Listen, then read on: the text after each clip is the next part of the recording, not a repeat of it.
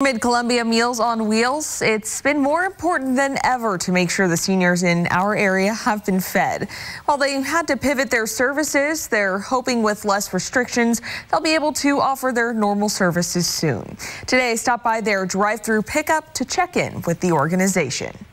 We always say that it's not about us, it's about the seniors we serve and never were our volunteers and staff more in tune to that mission. More than a year into the pandemic, and Mid Columbia Meals on Wheels hasn't slowed down. Here's a hot meal.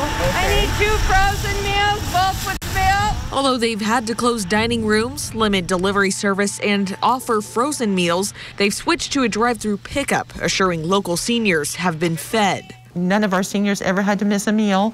It wasn't the, the nice hot meal that they were used to, but it was still, you know, good nutritious food that we were preparing ourselves. But they're starting a return to normalcy, now offering five days to pick up hot meals. Christy Thean says they couldn't have pushed through without people like Denise Watt. Two hot meals packed together, one of them with milk. Who've given seniors more than fresh food. They're glad to see you, like I said, like you're a personal friend. Oh, we're so glad you came today. And it makes your heart feel good. Seeing people, talking to somebody, having some companionship for a short period of time. It's a godsend to us because my husband's in his 80s and he has health issues. I'm very thankful. Denise will tell you I'm here. When they, she said we're going to open five days a week, I'm going, oh, good.